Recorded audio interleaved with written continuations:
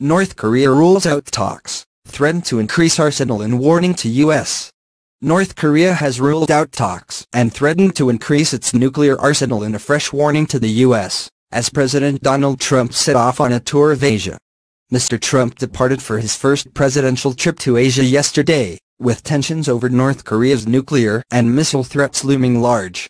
He is due to arrive in South Korea on Tuesday, after first visiting Japan.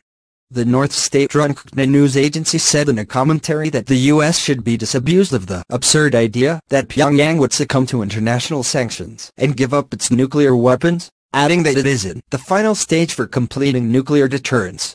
It had better stop daydreaming of denuclearization talks with us, said the commentary titled Stop Dreaming a Daydream. Our self-defensive nuclear treasure sword will be sharpened evermore unless the U.S. hostile policy toward the DPRK is abolished once and for all, it said.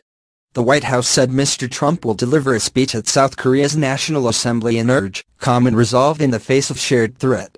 However there is widespread concern in South Korea that the U.S. president's visit might worsen the situation if Mr. Trump fails to rein in his fierce rhetoric.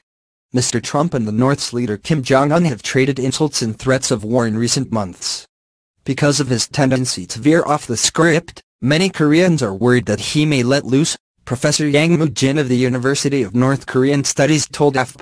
Some 500 protesters took to the streets in Seoul last night, chanting slogans and waving banners as they accused Mr. Trump of bringing the Korean peninsula to the brink of war.